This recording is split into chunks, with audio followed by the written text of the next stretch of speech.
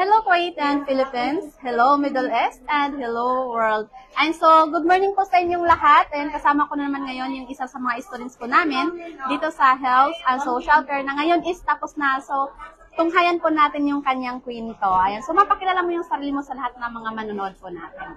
Good morning everyone. Uh, by the way, uh, my name is Cheryl uh, Montejo Mininte. Uh, currently nagtatrabaho bilang OFW dito sa Kuwait ng mag-almost na 2 years. Two years. Ayan. So, paano mo siya ma'am naisipan na mag-enroll sa Health and Social Care pa? O, habang nag-browse ako ng Facebook ko, at saka target ko talaga ma'am na sana makakita ako ng paaralan dito na pwedeng isabay yung trabaho at saka yung Pag-aaral. pag-aaral. Kasi gayon nga sa Pilipinas sobrang hirap. Mm-mm. Hindi ka basta-basta makapag-aral doon pag yung kinikita mo sakto lang talaga Sakto sa lang, pamilya. oo. At least dito, meron kang pangprosto sa pag-aaral, pag-aaral mo. At the same time, na, na-provide mo din yung mga needs ng family mo. Oh. Ayan. Habang nagbo-browse ako, nakita ko yung EXA, sabi ko parang sakto sa schedule ng trabaho ko. Mm-mm. Kaya hindi, ilang bisis din ako nag, ano ma'am, ilang bisis din ako nag, Nag-isip. nag, mm, nag-isip at saka ilang bisis din ako nag-try na kumontak talaga kung ano ba Oo. talaga yung kursong Ititik pwe, oh, mo. pwede sa schedule ng, ng trabaho ko. Kaya na-align din ako doon sa Pilipinas. Gusto gusto ko talagang mag ano mag-alaga ng Ah, pasyente. pasyente. Ito yun talaga yung ano mo, yung dream mo. Desire na- ko na sana kahit hindi degree, hindi nursing, hindi ano yung makuha ko, Oo. at least yung naka-align sa pasyente na mag-aalaga. Yes. Kaya, na, kaya hindi na ako nagdalawang isip na mag-enroll sa EXA. Yes. Ayan. Kasi yung passion mo naman, yung skills mo, pag wala kang skills kung paano ba yung tamang pag-aalaga, paano ba yung tamang pag-manage ng isang pasyente, na ano mo rin siya, natutunan mo siya dito sa health and social care po.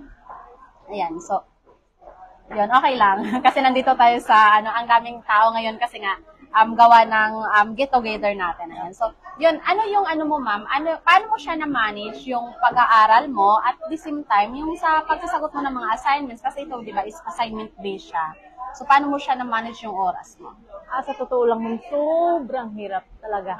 Hindi na nga ako nakakatulog, hindi na ako nakakapahinga kasi nga pagtrabaho sa loob ng bahay, hindi mo talaga hawak na Yung ganitong oras. lang yung trabaho mo, hanggang dito ka lang. Mm-mm. Kaya every time matapos yung oras ng trabaho ko, ng madaling araw, pag may ano talaga ma'am, hindi talaga ako nag-aano ng ng isang gabi na hindi ko talaga maka, hindi talaga ako makagawa ng assignment kasi doon sa assignment ko kasi ma'am, doon ko na lang pinupokus lahat ng sana matapos ko to, Oo. sana ma- maaga ko itong matapos kasi nga hindi ko hawak yung oras ko. Oo. Bukas may trabaho na naman Oo. na ganito ganyan. Kaya every time na may uh, magtapos ng trabaho ko sa gabi, ma'am, Nag-ano ka talaga ng assignment? talaga ako ng assignment ko. Kasi dito talaga is kailangan lang natin magiging focus sa goal natin para, 'di ba? At the end of the day is magkakaroon din tayo ng opportunity na okay, yung yung sacrifices ko, yung hard work ko is ito na siya, nag, na ano ko na, na Nagbunga na, Yes, yes, oo. nagbunga na. Nagbunga na yung lahat ng mga pagsisikap ko. Okay, so, yun, ano yung, ano mo ma'am, ano yung masasabi mo sa lahat ng mga kababayan natin na yun na, alam mo yun, nag, ano sila, na gusto rin nila makapagtapos ng kanilang pag-aaral kasi nga gawa, di ba, na, iba yung priority natin before sa Pilipinas. Mm. And then, kasi ha, kahit ha, nandito tayo sa ibang bansa, meron din tayong mga priority. No. So, ano yung gusto mong mas, ano, message sa kanila? May message ka ba sa kanila or something masasabi mo? Okay, sa mga OFW na kagaya ko, wag kayong wag niyong isiping hindi niyo kaya. Wag niyong isiping mahirap, wag niyong isiping wala kayong pambayad. Basta may goal kayo sa buhay, may pangarap kayo, wag tayong makuntinto na ito lang, magtrabaho Yes. lang tayo sa bahay. Mm. Kailangan nating mag-upgrade, kailangan nating kailangan din nating hindi lang dito tayo, hindi lang dito magtatapos yung buhay natin. Kailangan nating iba. Iba Oo, naman yung oo. Kailangan natin na maghanap tayo ng ng ibang opportunity. Opportunity.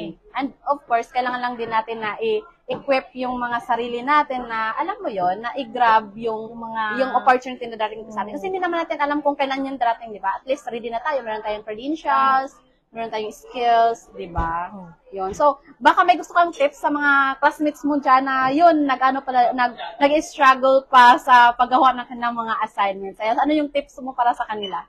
Oh, sa mga kla- kapwa ko, classmate o kapwa na nag-aaral dito, Huwag kayong mag wag wag niyong isiping hindi nyo kaya. Lahat po kaya basta may paraan, may porsigido, dapat may commitment ka talaga. Yes, number May one yun. ka Kailangan talaga. may commitment. Dapat Oo. ipokus kayo kung ano yung gusto nyo sa buhay. Hindi naman tayo habang buhay na ganito. Yes. Kailangan talaga may commitment kayo kung ano talaga yung gusto nyong mangyari sa buhay nyo. Yes, ayan. So, yun. And of course, kailangan din talaga natin na iisipin. Kasi hindi naman talaga every time na, alam mo yun, nasa positive side tayo. Diba? Minsan may mga times na na-disappoint tayo or na um, nahihila tayo pababa. Diba? Kasi hindi naman natin maiiwasan kasi yun yung reality. Pero at the end of the day, um, kailangan lang talaga natin isipin kung paano or bakit ba natin simulan yung course. Kasi di ba pag may times na parang gusto mo nang sumuko or Oo, di hindi ba? talaga yung maiiwasan, Hindi maiiwasan yun. Hindi pumasok sa isip na sa, sa, sa, sa pagod pa lang sa trabaho, hindi Oo. talaga maiiwasan na hindi mo maisip ang sumuko, lalo na sabay-sabay yung mga dapat mong ano, babayarin, padala sa sa pamilya mo sa Pilipinas, tapos may mga gagawin ka pa, may Yes, trabaho ka pa, hindi oo. talaga kaya man pag hindi ka talaga porsigido, hindi mo talaga makakaya, ma'am. oo. So, kailangan mo lang talaga align sa goal mo. Kailangan mo lang talaga iisipin na